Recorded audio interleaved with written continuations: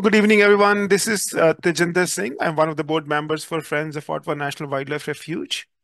We have an excellent session with Chuck Otte uh, soon, but just want to, um, you know, do some housekeeping. You know, once you join, please uh, keep uh, your phones on mute. Um, uh, throughout the session, Chuck has, um, you know, indicated he's open to uh, taking questions as you, you know, if you have a question, you can put that question in the chat and we'll get to those questions. Uh, but without further ado, I just wanted to introduce Chuck. Chuck Otte. He is, you know, like an avid birder. He was just telling me he has been birding since he was four. But he's also a secretary of the Kansas Ornithological Society, and then also uh, the editor of their newsletter, the Horned Lark, that he has been editing since 2015. Uh, and he has authored a couple of books, uh, books from uh, Birds of Kansas. So, Chuck, welcome and thank you. You know, this could not have been a perfect uh, time to have this webinar. You know, with you know with the biggest week uh, of birding coming up in May, and we have quite a few uh, you know people who have joined from here locally. Uh, we look forward to learning from you and being a better birder. Well, thank you, TJ. I really am excited to be here tonight. I'm going to sit here and try to talk and get my screen sharing going at the same time. Um, I'm to that age where doing two things at once is always a challenge. Um, we can there we go. Yeah. Now we're up and running. Yeah, um, it's it's just I love talking about birds. I, I have been a bird watcher since I was four years old. My mother was a bird watcher. My grandmother was a bird watcher. I guess you could say I was genetically predisposed. I was bound to be a bird watcher, but um, it, it's just it's been part of my life for absolutely forever. I love talking about birds, and I've just I've, I've had the opportunity to do that quite a bit, and nothing makes me happier. So. Um, there we go. Oh, I didn't mean to go that way. Yeah, that's fine. Let's go ahead and get started. Um, we all started as beginners. We all started as beginning birders. Uh, some started very young, as I did. Others were more advanced in their age. I've got a good friend who start, he and his wife started birding when they retired. So you know it can happen all, all the time. Uh, one of the most important things to remember is we've all goofed on bird IDs. I'm not even going to begin to tell you how many things I have turned meadowlarks into, but it's over two dozen. So I mean, it it happens. So that's it's okay. Making mistakes is a learning opportunity. We've all done it. We will all do it, and and just don't be defensive if that idea is corrected. Stop and learn from it. I've been 15 years as the secretary of our Kansas Bird Records Committee, and I tell people birding is part hobby, part science, and every once in a while they have a head-on collision. So don't get too wrapped up in yourself in your in your identification. Learn from from your oops, I missed that one. We all have personal challenges. Um, challenges on, on identification. Your challenges are going to depend on where you live, depend on the time of the year, it also depends on how involved you want to get in the hobby. Um, and, and that's the beauty of bird watching. It can be all over the board. You can go all in like Chuck does and, and travel to different states and different countries to go birding. You can focus only on the birds in your backyard. You know, during, during the pandemic, there were a lot of people that realized that watching the birds in their backyard was something that was A, safe to do, and B, something that could cross generations. It was really eh, that got a lot of people in touch with nature. So, and I tell people, I don't care if you call it a cardinal or a redbird. I don't care if you call it a goldfinch or wild canary. If they bring you joy, that's what it's all about, and that's what's really neat about it. So, all in in your backyard, everywhere in between. Now, I've been doing this program for probably eight or 10 years and, and back the December 2018 issue of Bird Watching magazine came out, and Maeve Kim, an excellent bird watcher and author from either Vermont or New Hampshire, I can't remember, had a, a an article called "Birding ID Curveballs." And I read this article, and it's like, wow, she, I mean, we're on the trains on the same track here. Hmm. She really broke things down into distance, weather, poor light, movement, that bird is always on the move, impediments, which is a broad category, and contortions. So those were her ID curveballs. At the end of my program, I'm going to circle back around and tell you what she said about it. And we'll kind of go on through and, and hit most all those points. First thing I always tell people learn the common species well. Know what makes a robin a robin. Know what makes a house sparrow a house sparrow. Down here in the lower right, these three birds on the top of that, that fence have caused more people more problems because they're, they're nothing more than a female house sparrow. But it's, they just, they throw people, you know, sit down and say, what makes a robin a robin? Robin redbreast. No, it's not a redbreast. It's orange. It's got a bicolored bill. It's got white undertail. I mean, what makes a robin a robin? Because the more you focus on what makes a common bird what it is, the easier it is to get on beyond that. Now, this is my favorite one the uncommon presentation of a common species. That is what has gotten me and meadowlarks in trouble more than once. This is a gull at a lake in central Kansas in the middle of December. And even though it appears to be headless, you have everything here you need to know to identify it. It's a first winter ring-billed gull. Ring-billed gulls are a common gull here in Kansas and across a lot of the country. And just from what you can see there, you've got it. So by studying those common species, you avoid trying to turn that into a mew gull or gosh knows what else. So just study those common birds. Vocalizations. That's one of the beauties about birds. We can see them, we can hear them. If you get close to certain nesting colonies of, say, herons or egrets, or get around a vulture nest, you can smell them too, and it's not pleasant. But to determine bird species and simply to locate birds, vocalizations come in so important. You may not know what that call is, but your ears can lead you to those birds. Say, okay, there's a bird singing. I don't know what it is. Let's try to find it. And then you just step by step by step. When when my wife, who is also a bird watcher, and I go to a new area, one of the things we do is listen for the bird calls we don't know. Oh, that's a white-eyed vireo. Oh, that's a summer. oh, wait, what's that? I don't know that one. That's where we go. That's how we decide. So understand the vocalizations change across the year and across weather. Bird calls are going to increase with warmer temperatures, sunshine, lower wind speeds. They're going to decrease or at least be harder to hear with lower temperatures, clouds, and windy weather. So, which always, if you're in an area like next to a large lake or in Kansas, when you get a lot of wind, it's going to be tricky to hear sometimes. So, you've got to just pay a little bit more attention. Now, in Lucas and Ottawa counties in Ohio and Northeast Ohio in general, probably not a lot of Western meadowlarks. I was looking at the eBird charts, and yeah, they're there, but not real common. Where I live here in central Kansas, we're in the twilight zone. We've got them both. And how's the quickest way to tell them apart? By song. Now, these pictures are strategically arranged as if you were looking at a map. If you're looking at a map, north is on the south, north is up, south is down, East is on the right, west is on the left. So the eastern meadowlark's on the right, the western meadowlark's on the left.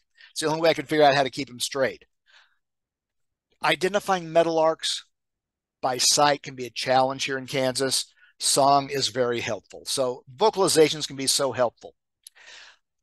If you happen to have some of the older recordings, compact disc, or in my case, even vinyl LPs, um, a lot of they didn't have a lot of space. So they focused on the breeding season songs, most distinctive. Well, you get out of the breeding season, a lot of birds aren't going to be using those songs. That becomes a real challenge. So we need to work on learning the chip notes and other vocalizations. Our Eastern Phoebes showed up the first of last week. It wasn't singing yet, but we heard the, the chip notes from it. Monday, it started singing the full song, so it made it easier.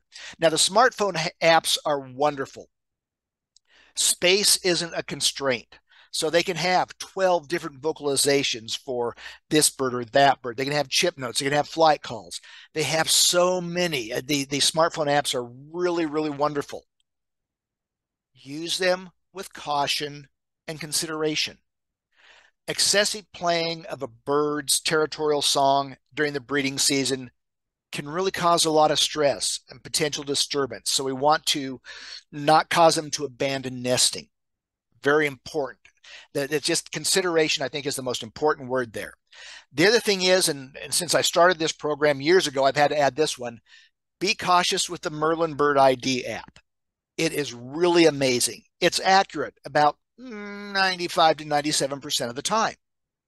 Just always follow up what Merlin is saying with you hearing the bird call or you seeing the bird. I'll be pishing, you know, trying to get birds up, and my wife will be running Merlin. And we always have a running joke about what kind of world species did it come up with this time because it, it always tries to identify me. But use it, follow up those IDs with your own vision or your own hearing so that you can say, yeah, I specifically heard this. It wasn't a case of Merlin heard it. I'm 68. I've got older male hearing loss, unfortunately. My wife still has amazing radar hearing. So there are times that she will hear a song, Merlin will hear a song, and I won't.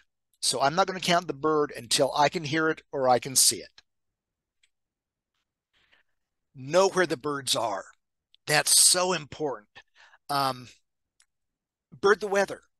Is it windy or calm? Is it cold or hot? Is it sunny? Is it cloudy? Different kinds of weather conditions are going to dictate where the birds will be. So you've got to kind of take that into account. If it's windy and cold, they're going to be trying to find someplace in the sun if that's possible, out of the wind, and where there is food. Following the food can be such a big important thing. Know what these species eat. In the wintertime, you're obviously going to have, you know, fruit eaters or seed eaters, or something like that. So it makes it a little bit easier. Learn those habitats. Breeding species, especially, have very specific needs and wants the wild card in everything is migration. Expect the unexpected in migration. Several falls ago, several Octobers ago, um, we had an unusual, very end of the month snowstorm. Big front moved through, and we had a snowstorm across Kansas.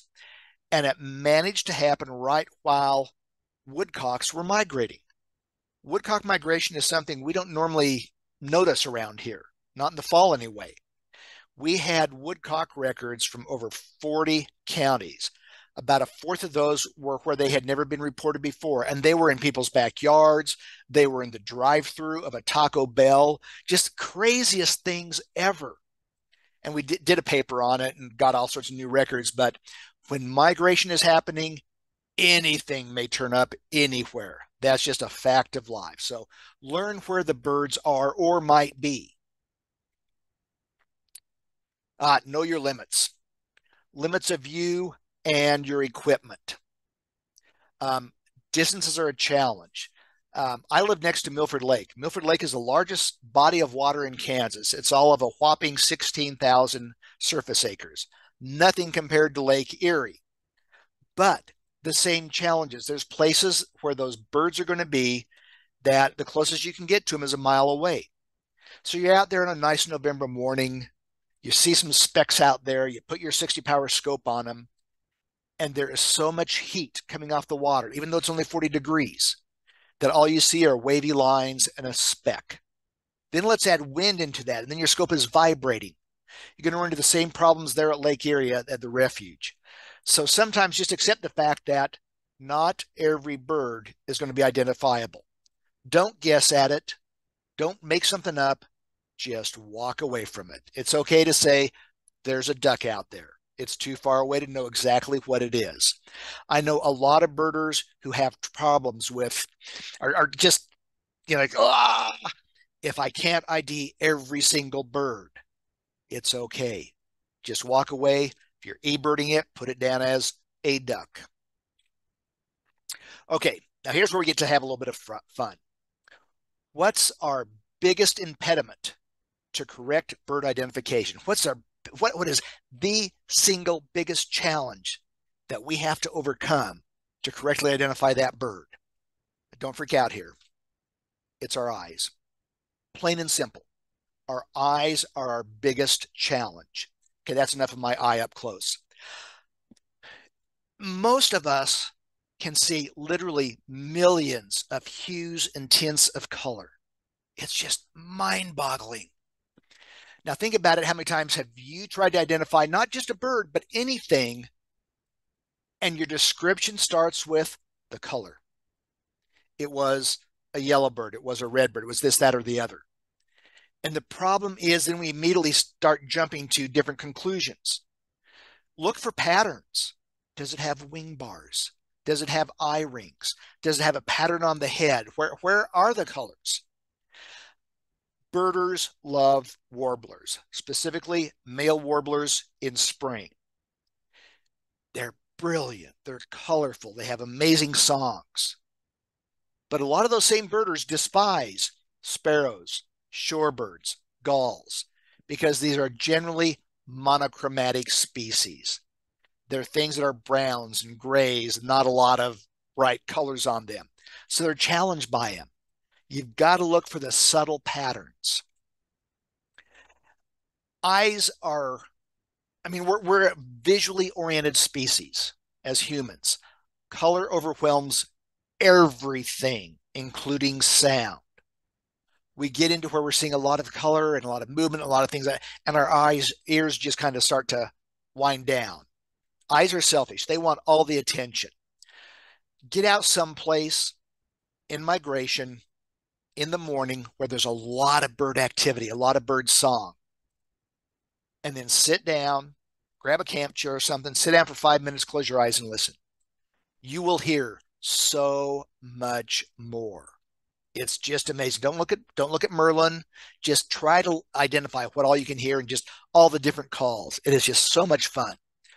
For the non-birding public, the beginning birders, just recognize the fact that color is what they're going to see first. Well, it was a solid red bird. Okay. Well, could have been a cardinal, could have been a summer tanager, could have been a scarlet tanager. What was the beak like? And they just kind of look at you like, I don't know. Well, that would be a big hint. So the other thing is everyone sees color differently and the processes that go through when we're printing printing field guides, a very well used version version of Sibley here. Um, when they're printing that, it's not always perfect. And even what we see on our computer screens can be skewed a little bit. So don't try to match colors. My wife is a quilter. And if you want to hear an entertaining argument, listen to us discussing what shade a certain fabric is or a paint chip or something. It's just Amy knows my wife, and she's sitting there laughing at me right now. Um, and it's just everyone is going to see color differently. Nobody's right, nobody's wrong. It's just how we see things. So learn to see the entire bird. Bird. Um, avoid what I like to call single field mark paralysis. Somebody will describe a bird perfectly, except for this one thing, and they're saying, but this one thing isn't right. Okay, let's go with the majority of the field marks that you saw. So do that holistic bird identification. See the entire bird. Then use everything else. How does it look? Where is it? What's the setting, the habitat? How is it behaving? What is it eating? Or is it with other birds? What is it socializing with? Is it vocalizing? And I'll get back to some of these here in a little bit. Beaks, beaks, beaks. I just can't say enough about beaks. Um, eh, they're, they're such a clue because they're so important in a bird's life. Warblers and vireos, they both have these tiny little insect eating beaks, but they're different. Vireos have that little hook on the end of it. So use every clue that you have available. Use checklists. Use eBird bar charts. Just songs, everything. Again, a caveat there. Migration's a wild card. You never know what's going to show up in migration, but be prepared. Can you ID in black and white? Otherwise, if you if you took away, if somebody just gives you a black and white picture, can you identify it? Which is always a challenge. 1934, Roger Tory Peterson, get the book down here where you can see it, came out with this birds, uh, the field guide to the birds. Groundbreaking. First time that a guide had been really printed, meant not for having a dead bird in your hands, which was common at the time, but identifying a, a live bird in the in the trees, in the shrub, on the lawn. Most of the plates were in black and white, just like this right here. And yet, with what's here on these plates, and what was written, you have everything you need to know to identify each and every one of those species, black and white. That's the challenge sometimes. Um, our eyes use, going to have a little bit of biology here. Our eyes use different parts of the retina to see color in black and white. We have rods and we have cones. Unless you're an owl, then all you have are rods. But rods see black and white. Cones see the color. The cones need a lot higher light intensity to, to really differentiate the color, which is why owls have sacrificed color vision for black and white. They can pack a lot more sensors in there and they can see so well in dim light. Recognize that under limited light, colors grow dim and colors become light and dark shades of gray. If you've ever been out before dawn and, and managed to stay awake through dawn and see how all those shades of gray start to take on color and things like that. There's a song that um, by the Moody Blues, Nights in White Satin. We probably all have heard it before. And if you hear the long version of it at the very end, there's a there's a spoken piece, and it's talking about how as the sun sets and the moon comes out, it changes things. I'm just going to read three lines out of this poem. Cold hearted orb that rules the night removes the colors from our sight. Red is gray and yellow white. And that is exactly what happens. Also, be aware that as the sun comes up and then goes down, it changes the, the, the spectrum so that early morning, late evening, you can see all sorts of blue or orange hues. I've got a photographer friend who's done several of the pictures in my presentation that talks about the sweet light in the evening, those, those orange colorations. You get a bird early in the morning flying across water, white parts will look blue because of the light that's reflecting off the water. So just be aware of that late morning, early evening, and it, it affects photography as well. So all of a sudden, things can look really funny on your camera. Ah, the eternal conundrum. Purple finch or house finch. Had this picture sent in from a friend, Dave Hoffman. And he said, Chuck, I don't know what it is. And I was just playing around with it. I went from, I said, well, I think I know what it is. And then for some reason, I changed it to black and white. And all of a sudden I went, wow, look at that. You know, you're, you're sitting here looking at these colors and going, well, is that more this, that, or the other? And what we miss is there's really an eye line there or an eye stripe. I won't use the word supercilium because that sounds uppity, but but right through here, and if you think about the female purple finch, it has this big, bold white supercilium, this eye stripe. And we don't think of that with the males, but when you convert the color to black and white, it just jumps out at me. Then you start noticing, okay, it's got very diffuse markings down here. My quilting birding wife that I mentioned earlier, I, I was all excited this the evening that I discovered this. I said, Jay, come here, come here, take a look at this. And she just kind of looked at me she went, yeah. And what quilters will do is if they're looking at a quilt, they're trying to figure out the pattern, they'll get distracted by the color. So they'll take a picture of it and then do it in black and white. And then they can see the pattern a whole lot easier. It's like, well, I guess I'm late to the party here, but you know, it's just it's a great if you have a picture, convert to black and white, see how it changes things. Try to determine the sex and age of the bird that you're looking at. Some species have sexual dimorphism. American goldfinches, northern cardinals, the males, the females look differently. Then we have blue jays and robins, a lot of other species that they look the same to us, so see if you can figure out is it a male or a female. A lot of times people, I'll be on Facebook and people be pop up a picture and go, I just can't figure out what this is. Well, it's a common bird, but it's a female. And they're looking at the male pictures in the online or wherever. Then we get the immature versus juvenile versus juvenile versus multi-year development.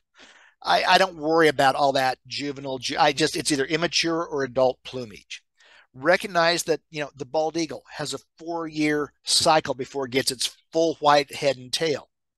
Herring gull will take up to five years to get the full adult plumage. So recognize that it may take a few years to get there.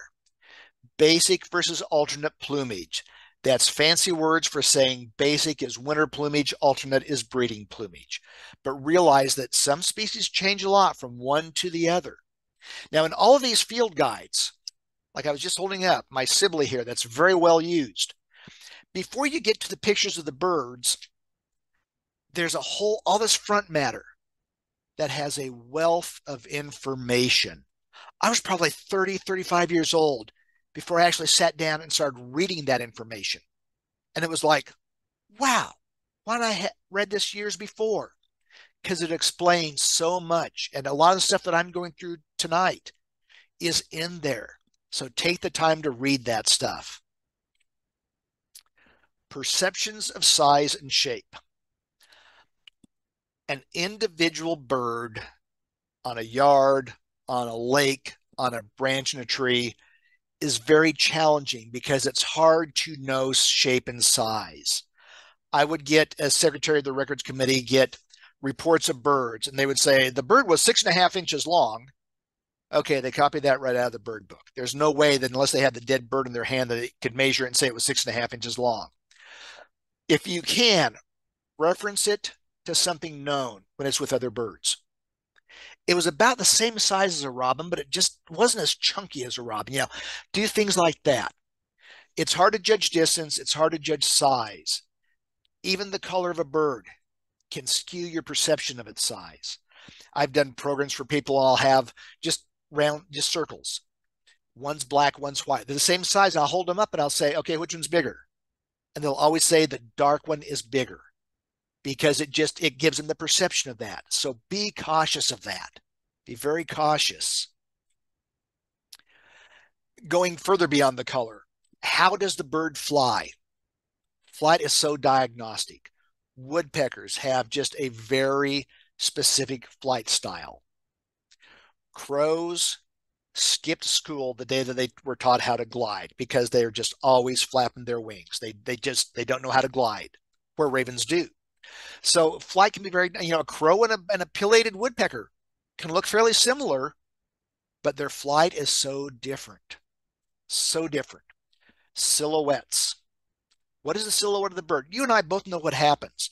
You're trying to look at this bird and it gets itself right between you and the sun. And then all you see, color is gone. All you see is shape. What does it look like as the light goes down?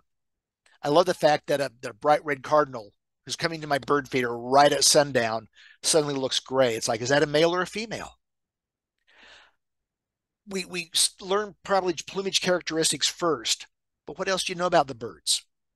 Habitat, feeding habits, food preferences, things like cardinals and eh, have, have this this massive seed cracking bill, which tells us a lot. Yet they get into the breeding season and they're grabbing caterpillars everywhere they can because they need that high protein for their growing young. So eh, that can tell you a lot about what that bird might be. Here's one of my favorites. Phoebes and peewees, eastern phoebe, eastern wood peewee. Similar sized birds, looks too darn close to similar to each other. Both insect eaters, flycatcher family. Our phoebes are back already here in, in north northeast Kansas, north central Kansas. Peewees aren't going to show up until the first of May. They're still six weeks away. Why? They're both insect eaters. Now I could leave you hanging on that and make you go and look for it, but Phoebes are are browsers. They will go. They'll look behind the, the in the cracks of bark for overwintering insects. Phoebes are aerial flight specialists. They're catching insects on the on the fly. Migrants, where do they go in the winter? A lot of our Phoebes, and Ohio's going to be the same. They go south to the coast. They're not neotropic migrants. Peewees are if we have a really warm spell like we've had right now, second warmest February on record here in Kansas, um, Phoebes are going to know that and they're going to start heading back north maybe a little bit early. Peewees are down in Central or South America. I was going to look that up and I forgot. Um, but all they've got to go by is the amount of day length. When the amount of day length gets to a certain point, they will start migrating. Phoebes are going to be more influenced by the weather. Again, use every clue you have available to. It's birds are a giant treasure hunt where we can figure out so much about them, so much about them. All about birds on Cornell's website has just so much wonderful information that can just go beyond the bird books. Photography. I have been accused of being anti-photographer. That is not true. I just think people sometimes, well, let me get into this cameras are a very valuable tool in bird watching. The digital photography explosion of the last 20 years has literally just exploded our knowledge of birds and our collective library bird photos.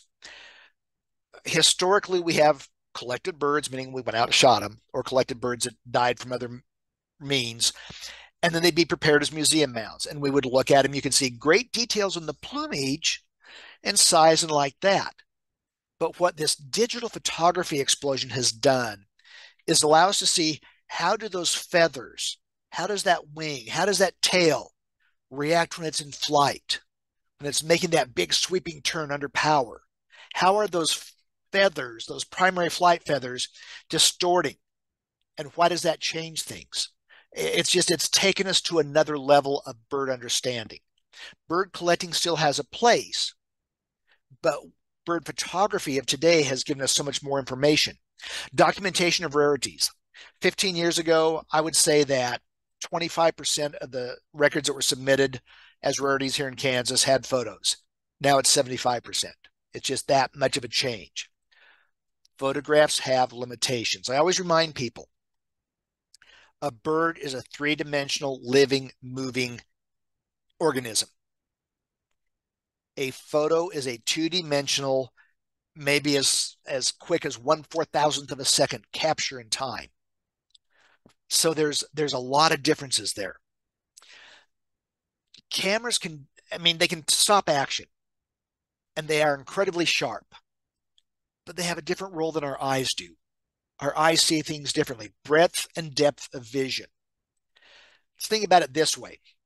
If you're and I are sitting here and we start moving our hands back to our sides, not quite 180 degree, but a lot of us probably have 160 to 170 degree breadth of vision, field of view. We pick up our binoculars, and all of a sudden that comes down to this you know, maybe six, seven, eight degrees. Then we pick up the camera and we go from this down to this. Just a very small area, especially with a high zoom or telephoto lens. You're really you're looking at one very small area of the world around us.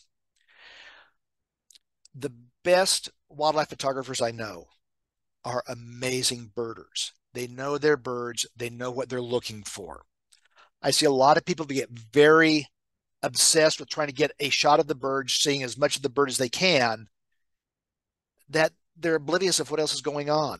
People will send me pictures all the time. Don't mind looking at it. And I'll start asking them questions. Well, how is it behaving? How is it acting? Was it vocalizing? And all of a sudden they were going, um, I don't know. Because they were so, it's those selfish eyes again. They were focused on the bird. Here's a case in point. As I try to correct my posture, um, got a good friend 20 miles away, retired professor of biology at Kansas State University. Uh, Dave is a loves raptors. He's a wonderful raptor photographer. Probably about 10 years ago, red-shouldered hawks were really just getting moving into our area and further on west in Kansas. It's another story and he knew that he was probably going to be able to get this red-shouldered hawk at this location for the first time ever on their Christmas bird count. And he came around the corner. There it was. He jumps out. He whips up the camera. He gets this shot. And I'm zoomed in a little bit here, but enough to see, you know, yeah, we've got the the black and we got the banding on the tail. We've got the stuff in there. It's it's a red-shouldered hawk, plain and simple. He got home that night from the compilation, and he's looking at the picture and putting his, and all of a sudden he realizes at the bottom of the picture, there's another bird. There is another bird there. A snipe flushed at the same time that the red shouldered hawk took out. Dave never saw it until he went back and looked at it. He was so focused on this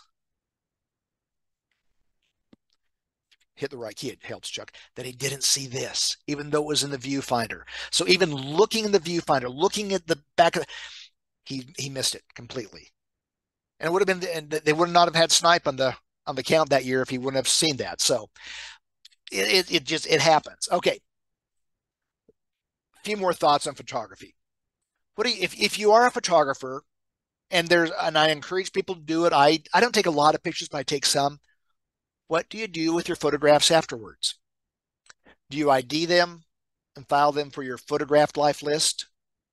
Does image underscore 5863 get changed to yellow rumped warbler eastern race? Take the time to sit down and study them. Look at all the features. feather by feather. Look at the plumage. Look at the non-feathered parts of the bird. Birds like gulls and shorebirds, like, oh my gosh, how are we ever going to tell those apart? You start spending a lot of time looking at them and you, you just see all these amazing little things that you might have been missing otherwise.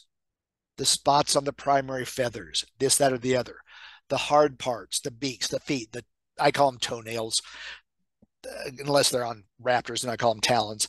The skin around the eyes, painted bunting. TJ and Amy and I were talking about painted buntings here earlier, and the adult male painted bunting has this just phenomenal blue head, and a little bit of skin around the eye is red. It's just amazing. Look at all the bird.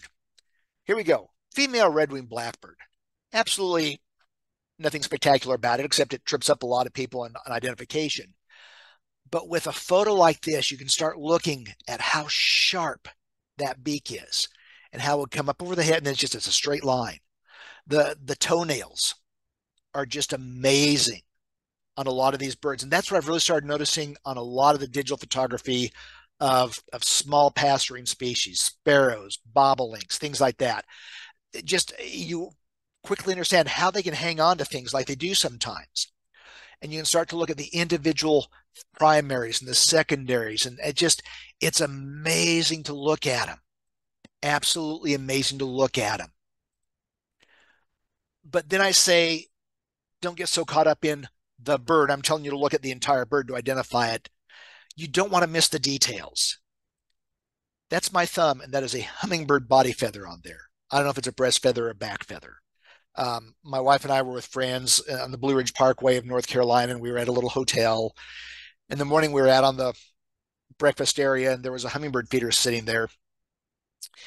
And my wife said, "Is there any nectar in that feeder?" And I got up and went over and looked. I said, "No, there isn't." But on the back side, there was this feather, and look how tiny that feather is in comparison to my thumb. And I brought it around, and everybody looked at it. And I said, "Quick, take a picture of it," and she did. And about three seconds later, gust of wind took it and blew it away. But because she got that picture, I've got that amazing detail. I mean, hummingbirds are amazing anyway, but then to see that detail in a feather like that and how small those feathers are, but it's just it was just a special moment. Okay, let's get back to Maeve Kim's article, Birding ID Curveballs. Next two slides are going to talk about the things that she suggested to get past those pitfalls, get past those traps from getting tripped up know what common birds look like. What makes a sparrow a sparrow? What makes a robin a robin? What makes a cardinal a cardinal and not a Pyrrhuloxia? Learn bird behavior. Why do birds do what they do? I do a lot of programs and I tell people when you're studying birds, you've got to realize that through the course of a year, a lot of what birds do comes down to two things food and the need to reproduce. So it comes down to food and sex, plain and simple. So that's the driving force. Bird the habitat. Know what your habitat is. Find your your what do I want to call it? Your your your patch. Bird your patch. Four years ago, my wife and I moved out north of, of the town where I'd, we'd lived for 35 years, out to the farm and the old farmhouse where she grew up. 100 year old farmhouse that has its challenges. But on the back of the house, we've developed a brick patio and we've got our chairs out there, and that is our happy place. And we sit out there, even on mornings when it's a little bit cool, like this time of year, put our coats on and go out there and we just listen. And it's just the more you are birding in a place day after day after day, the more things you will find and the more things you'll become familiar with. Bird with locals oh, I just can't emphasize that enough. I've been doing bird walks for about 30 years from spring through fall. And eh, yeah, it's a socialization event, but we just have so much fun and you get synergy. You get two birders together and they will see more than one birder alone. So it's just it's it's so much fun. It's just so much fun. Take kids with you when you go birding. Oh, I just can't emphasize that enough either. I, I like I said, I've been doing these walks for 30 years and I was to the point I'm retired man, do I want to keep doing this? Oh, it's only nine months out of the year. And then last spring we had two families start showing up that have have youngsters from let's say six to 13 years of age. And these kids were good. they're really good.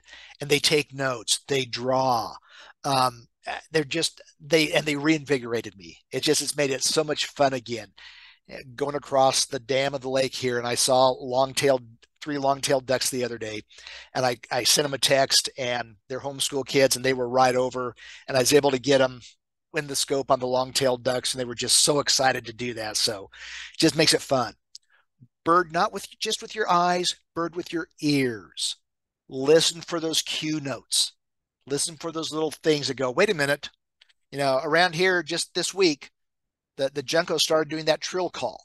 Not quite as melodious as a pine warbler slower drier looser than a chipping sparrow but it was just like oh yeah another three weeks those guys are going to be gone but until then we've got that taking notes is a lost art form take copious notes because you can go back. I tell people the bird may only be in front of you for 30 seconds. Spend as much time as you can watching the bird. Don't do the thing of look at the bird for three seconds, then get your field guide or get your phone out, start looking at the app, trying to match it up. Watch the bird as long as you can. If it's there for more than 30 seconds, pull out a notepad and start taking notes. The first time I saw these kids last spring, with notepads, I was like, oh my gosh, I thought it was a lost art. So it was so exciting. Talk aloud to yourself. And what this amounts to is you're going to start working through the bird. Do it with birds you know, but do it also with birds you don't know. Okay, what kind of beak does it have? What's the head pattern? What's the leg? And just start doing it because talking aloud to yourself forces you to slow down. So you're not rushing through and, and trying to get from point A to point G without going through B, C, D, E, F slow down, sketch. I'm a horrible artist. Oh, you wouldn't believe how bad I am. But sometimes you just got to sketch, and make little notes beside it, going, okay, this was this, this was this, this was this. And then Maeve also says, try birding with your camera. You know, use it to, don't use it in place of your binoculars, use it in addition to your binoculars. Um, it's just see what you can take pictures of. And then, then her last cue is go birding a lot. And I'll talk come back to this in just a second, but it's the more you're out there, the more you're going to see, the more you're going to learn. When it's nighttime and you're inside and it's no good basketball games on, it's not baseball season yet, pick up the field guide and start going through it page by page. I did that for years. For my generation, we had no internet. We didn't have phone apps. We had a book. We had about three bird books, and that was it. So I would just spend hours going through those and literally memorizing them. So do your studying. My closing thoughts. Oh, good. I try to make my talks about 45 minutes. Birding is just amazing. It's a wonderful way to explore the world. And when you're out there, and I'm on my bird walks, you know, if it's a slow July Saturday and we're birding, We'll talk about the wildflowers. We'll talk about the grasshoppers, the dragonfly. It's just the natural world is around you. And that is just so amazing. Birds are literally everywhere. I don't care if you're in downtown Chicago or out in the middle of, you know, the, the desert. There are birds around. May not be a lot of them, but there's birds around. Birding is a time of fellowship. It's a great time. We have so much fun with these walks thank you thank you to facebook and and social media and everything else. Beware the internet expert. It is easy to sit here behind your keyboard and just type all sorts of things on facebook on email on whatever. And sometimes they get a little bit ugly with some of those comments. There's a lot of people that think they know it all and they're going to be the first to tell you so. Hang out with those experienced locals. They're going to be working with you and helping you through. People post pictures of birds on our Kansas Birding Facebook page. They say, What is this? And I try to get in there and say, Okay, look at the finches section. You know, pay attention to this. I'm trying to walk them through the discovery process. And somebody jumps in and says, That's a gray crowned rosy finch, which, believe it or not, we just had the second record in Wichita, Kansas two days ago. It's just like, Whoa, gal was a photographer, got great pictures. It'll be wonderful. But hang with those locals. You will learn so much from them, and they will walk you through about why is it a Bewick's wren and not a Carolina wren. Those things that'll help you along. There are no shortcuts. If you ever saw the movie or any one of the movies, The Matrix, um, wonderful science fiction, you know, you can't plug in and just immediately download all the instructions for running a Huey helicopter. It just doesn't work that way It takes studying, it takes practice and an experience. If you are fairly new to birding, get an eBird account. Even if you're just birding your backyard, the citizen science and the database that is being developed from that is just phenomenal, just absolutely phenomenal. And, and the more information that comes in, the better. Plus, it checks you. If you're putting in something off the wall, one of, one of the moderators will, hey, you may want to think about this. I probably isn't this species, so it, it's helpful. Blaze your own trail. Uh, one of the things that I'm noticing the past few years is why what I call the eBird hotspot phenomenon rather than learning how to look for good habitat and how to go someplace, people go, okay, I want to see a painted bunting. They're seen on Walla Walla Road in May, so I'm going to go there and I'm going to see one. Yeah, it's not that easy. And it may have been a vagrant that was there once and then gone. In the case of Walla Walla Road in May, there will be painted buntings there every year. But anyway, um, so just learn to just go off by yourself. Do I use eBird hotspots? Oh, yeah and I look at birding trails and get information. And then I go through there and I don't worry about a specific location rather than just bird the habitat. And finally, ABB, always be birding. I have a pouch, soft-sided briefcase that goes with me everywhere. My life is in it. My it's my purse. I'll be honest. Um, and there's always binoculars in it. There are. I am never without my binoculars and it's just if I am, I feel like I'm without my phone nowadays. It's just like, oh, I'm naked. I gotta have it. I gotta have it. So always be birding, be listening, be looking. You know, I spent 40 years as an extension agent working with farmers and homeowners and producers. And it wasn't too long that I'd been here and farmers soon figured out that I was always birding. And we'd be out next to a tree line looking at a, at a soybean field. And all of a sudden I'd be listening to the farmer talk and I'd be gazing over here trying to figure out where that bird is calling from. They got used to it. They figured out, oh, that's just Chuck. Don't worry about it. So always be birding. And with that, I'm to questions. I'm going to pass that to that. So fire away, open it up. I'll leave this up for about a uh, two minutes and then I'll stop sharing my screen. Well, thank you. Just Chuck, for doing this excellent presentation. You know, no questions in the chat yet. Okay. Uh, but we'll let you know maybe if somebody has a question, you know, they can unmute themselves and ask uh, as well. Absolutely. Yeah, I will stop sharing this. Okay. Amy knows for knows my phone number and my email address if anybody needs to get in touch with me. Questions from y'all. And thank you for joining joining me tonight. I I am a member of the Ottawa National Wildlife Refuge Friends Group. I have been to the refuge a couple of times. Uh, love getting back when I get back to Ohio. I it's always like we're going to go to north northwest Ohio. We're going to go up to Ottawa, and hopefully I'll get to see Amy and some good birds. And I, unless somebody has a question, you know, maybe I have a question. Okay. So, as a beginner, beginner birder, or maybe an advanced birder, what type of binoculars you prefer? You know, the eight by forty-two or the 8, 10 by forty-two? You know, either one of those or something in between.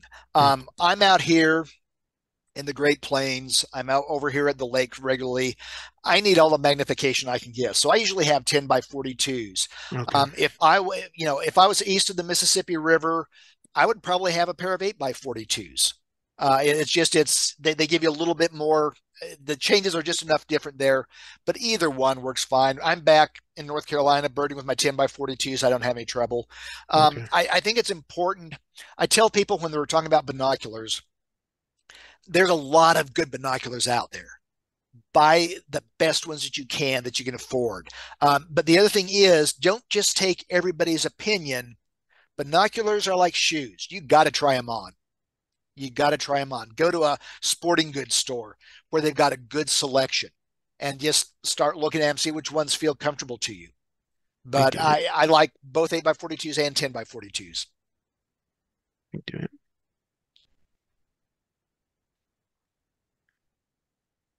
I want to ask Paul in that picture there. He's holding up a pine cone. What kind of pine cone is that? wow. He may have to unmute himself. Yeah. It's a big pine cone. Looks like a sugar pine from out in. Yeah, no, it's not sugar pine. I'm not sure. Oh, he, he he doesn't. Oh, he know. doesn't know. Okay. Yeah. It's a nice pine cone. Thank you for responding, Paul. Appreciate that. Other questions? Now, what I will tell you is, you know, my assistance to y'all, doesn't end when we all sign off tonight. Um, my email's there. Um, if you've got questions, email them to me. If you got a picture of a bird and you're not sure, email it to me. Oh, that's awesome. We appreciate that. Yeah. Yeah, I just I I love to help birders. I mean, uh, the birding community is so helpful. I've helped a lot of birders. Other birders have helped me. That's what life is all about. I mean, oh. we are a human beings are a social species. Even introverts like me need other human beings around. Um, so I'm just I love to help. I love yeah. to help. No, you're right. And then see, going birding with locals, you know, that's we have a local birding group here. I think a couple of uh, members. So what I learned the most was when I went out with them on birding walks than just going by myself. I enjoyed photographing them when I was alone, but I learned more when I was out birding with them. And I know somebody has a question. I think uh, Marcia has a hand raised, or somebody has a hand raised. Let me see. If you got a question, unmute and ask. Yeah. Or maybe that was an accidental hand raise. Oh, yeah, but Paul says Pine Cone was at uh, Pinnacles National Park, Park, where I saw California condors. So yeah, it's it's it's not sugar pine. Sugar pine would be longer, but that's getting into some of the other sides of my life. Yeah. Could have been a digger pine. I don't know. Uh, Raja Kanal has a question. Um, Orka Kanai. Um, hi yeah. everyone. Like nice talk. It's really yeah. nice to listen this one. Uh, I'm from Ottawa, Canada. It's okay. Uh, nice, nice to join yeah. this, uh, this group. Yeah. Um, I'm really new to uh, Birder. Like, uh, like, is there any like couple of things that uh, where where should I start? Uh, basically. Do you, do you have any do you have any bird books, any field guides? I, I, I have a national ge like geography one, like that's the that's the one I bought it. Yeah. Okay. And then I have a binocular, uh, like eight by uh, forty-two. Okay, you're you got the first two steps out of the way, and, and the National Geographic, Sibley, the Kaufman Field Guides. I mean, those three are the, are the top of my list always. Go someplace, you know, find a park, find a nature center, and just birds are most active in the morning, the first four to five hours after sunrise. Just go there at first thing in the morning and start walking around. And and you may not know a lot of the birds, but just break it down, you know, one at a time don't try to worry. I'm going to identify all these bird calls. I, no, don't worry about that. Say, okay, here's a bird call. I'm going to track it down. Oh, that might be a blue jay. So just one step at a time. Take notes. Start keeping a list. Lists, I think, are very important to help you learn. Yeah, thank you. You're welcome. Good question. Everybody's shy when we get on these Zoom things, except me.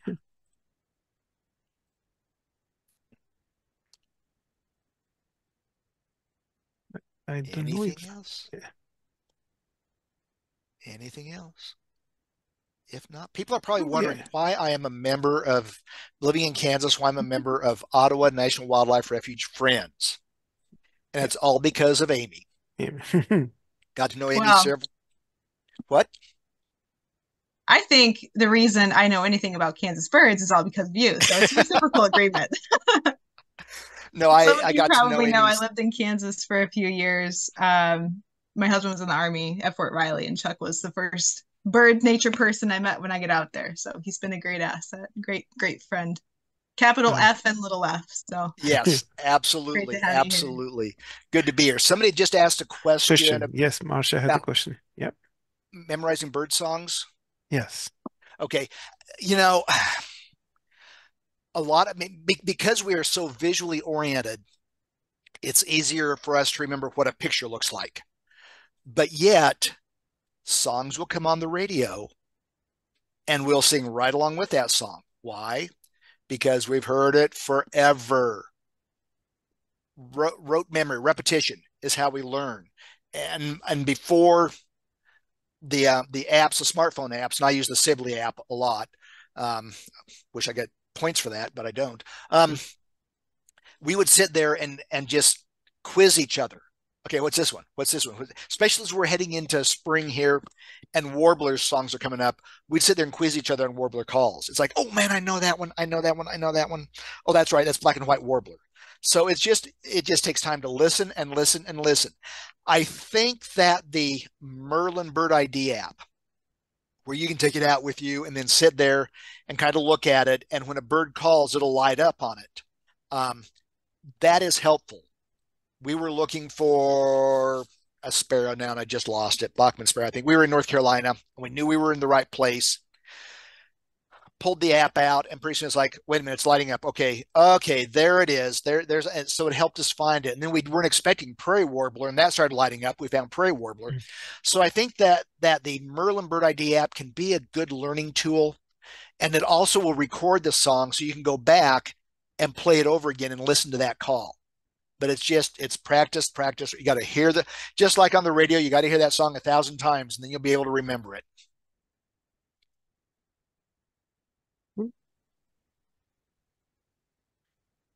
see any other questions so far you know i don't want to hold you up also chuck yeah i just have one question the sandbar behind you you know is that also in Kansas or uh, no, that is not in Kansas. Yeah, okay. Sandbar behind me is from North Carolina. I don't remember which beach we were at. We've got good friends in North Carolina, and once or twice a year we'll go and spend a couple weeks on the on the shore with them. That was in October several years ago, and it was just at a great place that as the as the tide would start to go out, gulls and terns and skimmers and shorebirds would just start flocking onto these sandbars, and I just would say, I mean, I would literally be there for two or three hours with my scope on them and my camera, just watching them and taking pictures. It was wonderful. Yeah, right oh, over. Let's see, right yeah. over this shoulder. There's a couple of royal terns in close there. Yeah. Um, which are not a Kansas bird. We've got one record in Kansas. So, any other questions? What was your spark bird, Chuck? What, what was my spark bird? Oh, excellent question. There are there are three of them. Um, probably more than that. My my first one was a bobolink. Oh, wow. That I, I identified a alternate plumage bobolink when I was six years old. It was on the clothesline of the farm in Nebraska where I grew up, and I knew what it was. My mom did it because of this book that she got me. Um, the after that, indigo bunting when I was fourteen. Um, I, I rode. I mean, in Nebraska where I was, uh, not a lot of streams. I rode up to the creek, and I heard this beautiful song, and I found it. Um, okay, four birds. Hmm. We were going out to see my sister in Oregon, and we stopped at a rest area in Idaho, and we heard this beautiful song and tracked it down, and it was a lazuli bunting. And then the the one that just clinched it forever and ever was the painted bunting. Mm-hmm. So the, the buntings have always gotten me. That's a great bird to have, you know. yeah, and I also grew up 45 miles from the Platte River in Nebraska, 45 miles from Grand Grand Island, Nebraska. And my mom being a birder, we'd go over there every year in the spring and watch the big sandhill crane migration, which is going on right now. That's just it's a special time. So we have one more question come up. Yeah. Yeah, something I saw something about Merlin ID. And then how do birds communicate? Lee Faber has a question. Okay, I, I'm not. Uh, yeah. Not so she has a. Uh, yeah, ahead, he has a question. Yeah. It. How do birds communicate? Birds communicate. I mean, they they've got their their territorial songs, and their breeding songs. Um, I I love cardinals because they have so many vocalizations, and if you've got a pair that are nesting close to your house, and just sit out in the evening and during the day you can listen to them talk to their young and just so I mean there there's that. There are also alarm calls. If you're watching birds at your feeder and uh, some threat comes in, one bird will give an alarm call mm-hmm. and they will all react to it simultaneously. And it appears that the alarm call is specific for either a ground-based threat like a cat or an aerial-based threat like a like a hawk. Because aerial-based threat, man, they go into cover wherever they can find it. If it's a cat, they just go straight up. They, hmm. they don't worry about getting into heavy cover. They just go up to get above the cat's level. So, I mean, it's just it's that's how they communicate. The the migratory part of it is what I find most fascinating. Um, a lot of birds, especially things like shorebirds, they don't migrate as family groups like cranes do. Um, adult males leave the breeding grounds first. Then the adult females leave the breeding grounds, and the last ones to leave are the are the young of the year, the immatures, and yet they all wind up at the same location. Um, it's hardwired in. They they think that they're that bird now that birds have receptors that they can see lines of of grab lines of um magnetic lines going through. It just it blows my mind. Birds have different kind of receptors in their eyes, so it's uh, inbred into them. And sometimes the wiring goes awry, and that's why we have vagrant birds that show up where they shouldn't. What's going on with the limpkins? I don't know. I think you had limpkins in Ohio the past couple of years too. We yeah, had Ottawa had yeah yeah had, uh, two at Ottawa also yeah yeah uh, we we'd had no limpkin records in Kansas, and in 2022 they showed up. 2023 we had some more, and we're now up to 21 records of limpkins in Kansas. And Amy, we had one down at the Geary State Fishing Lake this past year. Hmm. So it's just crazy. And then there's the flamingos. Oh wow! Oh, yeah. I never thought that my first lifer flamingo would be in the pra- tall grass prairies of Kansas at a state fishing lake, and yet that's where it was. Oh. of course, it showed up at the time that it showed up. I was on the west coast in Oregon, so it, I had to pray every day that it was going to stick around until I got home, and it did. Other questions? Sorry. Start telling bird stories. I'll be here all night. Oh, yeah. oh, we'd love to hear them. Yeah, but I think we don't have any other questions. It's right at eight o'clock. Thank you, Chuck. Again, you know, hopefully we meet when you are here again. You know, uh, I'll a point. to seeing you. Yes, yeah. All right. Thank you. Excellent presentation. You know, we'll be sending out the recording uh, in a couple of days. Uh, but uh, really enjoyed it. You know, took some notes. I will def. I took a note of your email ID as well, so I'll be. there you go. Yes. Yeah. Very good. Thank you. So, yeah. TJ, good to meet you. Amy, good to see you again. Great Take care. Thank you so much. Thanks yeah. so much.